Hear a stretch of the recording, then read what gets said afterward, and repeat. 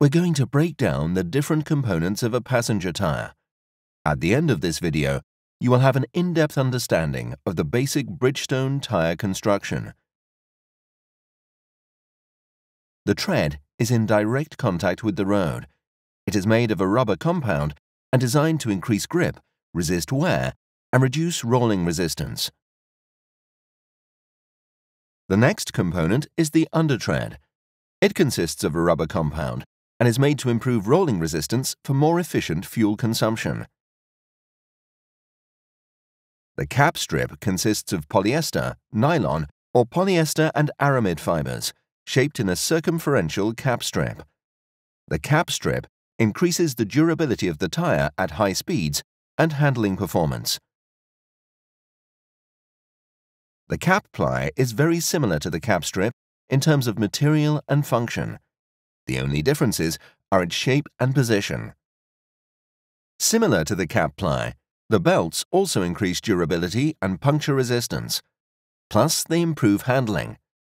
There are two belts situated at opposite angles. The gum strip is made of rubber and protects the edges of tread ply 2. Below tread ply 2, there's another tread ply for extra durability, puncture resistance, and improved handling.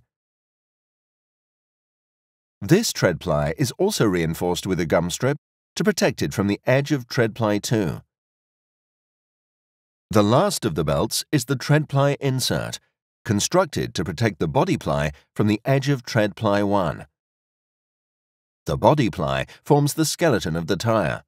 It carries tire load, improves handling, and increases comfort and durability. Tires can feature one or two body plies carcasses to better support higher stress and fatigue. The next component is the mini sidewall, made of a rubber compound. It is positioned to harmonize the junction between the tread and sidewall. The sidewall is made of highly resilient and heat-resistant rubber compounds with a specifically designed gauge. It protects the body ply and increases comfort by absorbing the tire flex. The sidewall also features markings such as size, name, homologation codes, and more. Then onto the gum strip. It is made of a rubber compound and improves resistance and protection from abrasion, tears, and cuts. The inner liner has a specific design thickness and consists of butyl rubber. It is nearly airtight and prevents excessive air loss.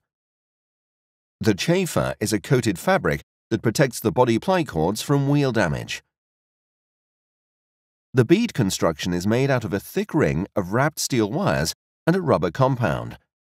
The bead construction helps ensure the tight fitting of the tire onto the rim. It also provides more comfort and better handling. And the last component is the bead filler, which is made of rubber compound and improves bead area fatigue resistance and can lead to handling and comfort enhancement.